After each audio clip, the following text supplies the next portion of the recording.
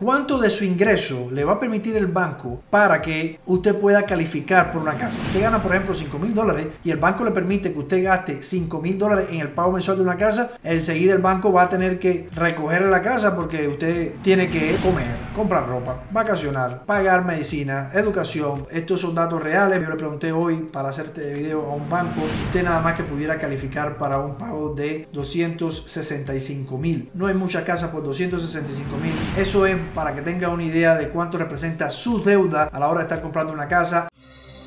Bueno, en este video de hoy le voy a enseñar lo que es el Debt to Income Ratio. Es lo que utilizan los bancos para decir cuánto usted puede calificar según su ingreso y según sus gastos, qué es lo que usted va a poder calificar. Y también les voy a estar hablando qué cosa es un Debt to Income Ratio front end y back end. Esto, mi gente, eh, traté de ver en inglés varios canales de YouTube para ver si me lo explicaban de otra forma y la verdad que yo los veo muy perdido. La verdad que es bien difícil. De hecho, cuando un prestamista me intentó explicar, yo tuve que buscar una analogía de cómo entenderlo mejor, porque la verdad que a veces se enredan los mismos prestamistas a la hora de explicar qué cosa es un debt to income ratio y qué es un backend y un frontend. Para eso yo le hice una tabla y se lo voy a explicar clarito en español como si fuera un niño de quinto grado, para que usted cuando esté enfrente de un prestamista pueda saber qué cosa es de lo que le están hablando. Ahora miren mi computador. Ah, y si quiere que entendió, me le da un like, me pone un comentario y si no entendió, me lo deja saber aquí para yo saber cómo explicarlo mejor porque yo sé que puede traer confusión. Bueno, mi gente, yo traje un ejemplo y esto no es más que cuánto de su ingreso le va a permitir el banco para que usted pueda calificar por una casa. Es decir, usted puede ganar 5 mil dólares, pero si sus deudas son muchas, pues el banco no lo clasifica para mucho. Ahora vamos a poner el ejemplo de este acá. Vamos a suponer que una persona tenga 5 mil dólares de ingreso mensual y que tenga una deuda de 400. Vamos a poner una persona con un préstamo convencional y vamos a tener una persona con un préstamo FHA. Ahora, en el préstamo convencional es un poco más fácil porque cuánto de su ingreso mensual le va a permitir el banco para que sea su pago mensual de una casa. Ese es el máximo. ¿Por qué? Porque si usted gana, por ejemplo, 5 mil dólares y el banco le permite que usted gaste 5 mil dólares en el pago mensual de una casa, enseguida el banco va a tener que recoger la casa porque usted tiene que comer, comprar ropa, vacacionar, pagar medicina, educación, etcétera, etcétera, etcétera. El banco tiene que buscar una forma de buscar cómo te la complica para saber cuál es la máxima cantidad que te va a poder calificar. Y eso depende de muchos factores, como por ejemplo el programa de ayuda por el cual te va a calificar muchos factores. Por ejemplo, el préstamo convencional te van a permitir un 50% de front end y back end. Y ahora un poco que te voy a explicar qué cosa es el front end y back end, porque es un poco enredado. Y cuando es un FHA, ellos te van a permitir un 46.9 de front end y te van a permitir un 56.9% de back end. Déjame le explico qué quiere decir eso en español, castellano, para que no se me enrede. Bueno, primero le voy a poner el ejemplo de cuando es un préstamo convencional, para que usted entienda qué quiere decir. Si usted gana 5 mil dólares al mes, y ese puede ser usted, usted y su esposa, o usted solo, cualquiera que sea ejemplo, el total de las personas que van a clasificar solo o con cosigner. Cosigner es la persona que le va a ayudar a la otra persona a comprar la casa. Simplemente lo que usted puede usar su ingreso con el ingreso del cosigner para que te pueda el banco clasificar para un poco más el préstamo. Entonces, vamos a suponer que usted gana 5 mil, el 50% de 5 mil sería 2500. Lo que quiere decir que el 2500 sería el pago máximo que te permitiría un banco si usted pudiera calificar para un préstamo convencional. Eso es incluyendo aseguranza, asociación, taxes, mortgage insurance y bueno, lo que lo llaman el PT. PT viene de principal, interés, taxes and insurance en inglés. Y bueno, ahí también van a estar la asociación, si tiene alguna master plan, si tiene alguna HOA, etcétera, etcétera. Eso todo junto no puede exceder de esos 2.500 dólares que le va a permitir el banco. Por ejemplo, si usted en un préstamo convencional tiene 400 dólares de deuda, usted le va a tener que restar a ese máximo de 2.500 400. Es decir, que el máximo que le va a permitir un banco para que sea el pago mensual de la casa, incluyendo todo esto que hemos hablado ahora, sería de 2.100. Bueno, Juan Carlos, ¿y para cuánto califica una persona que gane 2.100? Bueno, vamos a enseñarle por acá más o menos para que tenga una idea. Ya yo precalculé esto, fui a una calculadora de Mortgage Calculator y un pago de este tipo con todo esto que le estoy diciendo, el principal interés sería como de 1616, los taxes serían como 2221 al mes, la aseguranza de 58, el Private Mortgage Insurance como alrededor de 200 y algo. Esto es aproximadamente en cada estado donde usted esté viviendo es diferente porque por ejemplo esto es más o menos en la ciudad de Las Vegas. Yo sé que en Florida, por ejemplo, Texas, como hay más desastres naturales, la aseguranza es mucho más alta y los taxes también. Así que si es California, mucho más alto también. Entonces eso es una de las ventajas de estar viviendo en Las Vegas, que los taxes y la aseguranza es mucho más baja que en muchos otros estados, como los que le acabo de mencionar. Una de las cosas que tiene que saber que también cuando usted está comprando con préstamo convencional, eventualmente se le va a quitar el mortgage insurance, el interés siempre va a ser un poco más alto que el de un préstamo de FHA. Eh, si se da cuenta, por ejemplo, estos son datos reales, más o menos yo le pregunté hoy para hacer este video a un banco y me dijo que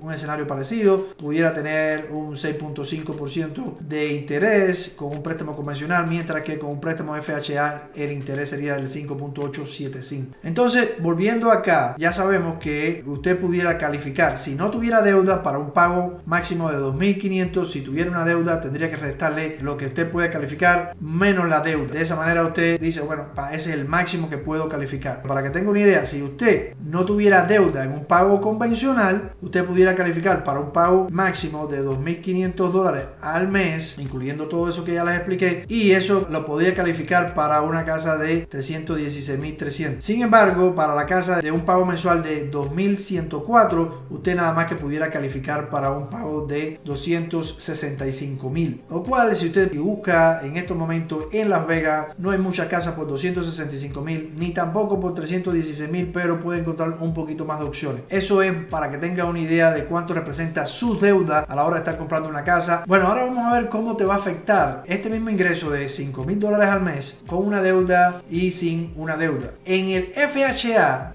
lo que se llama el front end, habíamos dicho que es de 46.9 y el back end sería del 56.9. Pero Juan Carlos, ¿qué quiere decir eso? Bueno, quiere decir que de 5 mil dólares que yo gano al mes, el banco con el front end me puede calificar para un máximo de 46.9. Es decir, si usted coge esos 5 mil, lo multiplica por 46.9%, quiere decir, entre 100, eso le daría un total de 2.345. Y si usted multiplica el 56.9% de 5 mil, eso le diera un resultado de 2.845. En realidad, el pago máximo que usted puede tener con un FHA es este que está aquí, de 2.345. Es decir, que si usted gana 5 mil dólares, el máximo que puede irle es un 46.9% y punto. Eso es lo que usted puede calificar. Ahora, eso es en dependencia de la deuda. Pero como es un FHA, es un préstamo del gobierno y es un poco más flexible para que primeros compradores y demás puedan comprar. Entonces, mi gente, el FHA le deja tener un máximo para la cantidad de deuda que usted va a poder tener. Por ejemplo, la diferencia entre si usted resta 2.845 a 2.345, eso le va a dar que el máximo que usted puede tener en deuda para que este valor no empiece a disminuir va a ser de 500 dólares. ¿Qué quiero decir con esto? Que si sus deudas son hasta 500 dólares, su pago máximo va a ser de 2.345. Si sus deudas exceden de 500 dólares, entonces le va a pasar lo mismo que le pasó al convencional, que cuando llega al 50% le empezaron a restar la deuda, pues lo mismo. Vamos a poner un ejemplo para cuánto calificaría usted si usted tuviera 500 dólares o menos, ganando 5 mil dólares al mes con un préstamo de FHA. Si usted tuviera una deuda de 500 dólares o menos, el banco le da el máximo a esta persona es de 46.9% de front end, o sea, el pago quedaría de 2.345. Esto haría que la persona pudiera calificar para una casa de 312 mil. Ese sería el máximo según el PT más todo lo que usted pueda sumarle ahí en su pago mensual. Recuérdense que estos 500 dólares de deuda no es que usted, por ejemplo, compró un carro de que me costó 20 mil, entonces Juan Carlos son más 500. No, el banco está hablando del mínimo que usted tiene que pagar en crédito. Y cuando estamos hablando en crédito, estamos hablando de cualquier cosa que se reporte en su buro de crédito. Por ejemplo, si usted está pagando el pago mensual de su casa y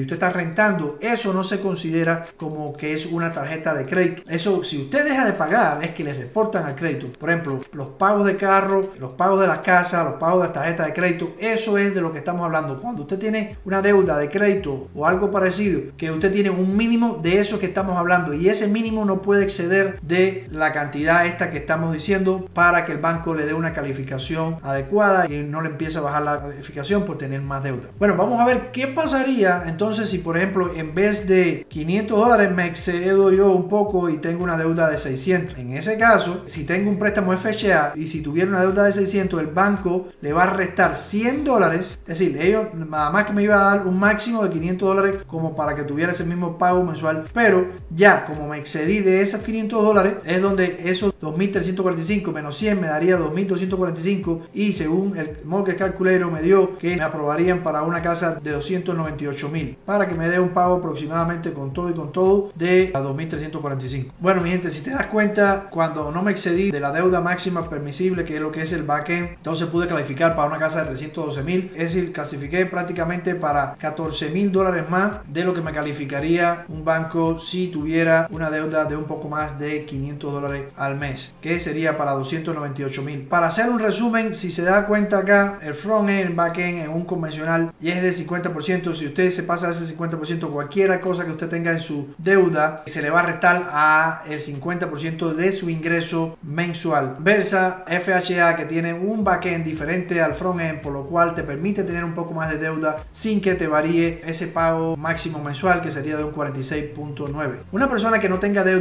y tenga buen crédito, un préstamo convencional siempre le va a ser mucho mejor que un préstamo FHA. Pero si usted tiene deuda, por eso es que el gobierno inventó como que este préstamo para ser un poco más flexible y poderlo ayudar a la compra de la casa. Bueno, como ya dijimos, recuerden que cada programa es diferente, cada programa tiene su debt to income ratio y depende si usted tiene más down payment, menos down payment, si usted está usando programas de ayuda o no, su DTI puede cambiar. Entonces lo que tiene que saber es cuál es el DTI que le está ofreciendo el banco y entonces de esa manera usted puede tener una mejor claridad de cómo calcularlo si usted quisiera comprobar lo que está haciendo el prestamista. Eso es todo por hoy por mi parte, mi gente. No sé si esto le fue claro o no, me lo ponen abajo en la descripción. Yo por mi parte tengo un grupo de informáticos que estoy creando ahora para poder hacer una tabla donde usted va a poder calcular esto sin mucho esfuerzo. Solamente va a tener que poner su ingreso, cuánto tiene de deuda y le va a poder decir para cuánto puede calificar para un convencional y para cuánto puede calificar para un FHA. Déjeme decirte mi gente que eso que estoy creando yo ya me estuvo hablando uno de nuestros banqueros que hacer una fórmula muy parecida a la que estamos tratando de crear para nuestros clientes y nuestros seguidores. Le cuesta al banco alrededor de 2 millones de dólares es cuando yo estoy diciendo realmente estamos creando super tecnología para poder darle a nuestros seguidores a nuestros clientes mayor información de cómo puede estar preparado a la hora de calificar para comprarse una casa. Recuerde que mi nombre es Juan Carlos Carrera soy su real estate hispano aquí en Las Vegas. Y si llegó a este punto del video y no me dio un like por favor hágalo porque esto le va a ayudar muchísimo. Nos vemos en un próximo video. Recuerden que estos videos salen de lunes a viernes a las 12 del día. Es bueno que usted esté ahí esperando a las 12 del día porque ahí es cuando yo estoy chequeando quienes comentan. Yo paro lo que estoy haciendo para ver cuáles son las personas que primero que se conectan. Por la verdad que eso me ayuda muchísimo y yo siempre lo voy a estar agradecido. Nos vemos en un próximo video. Chao.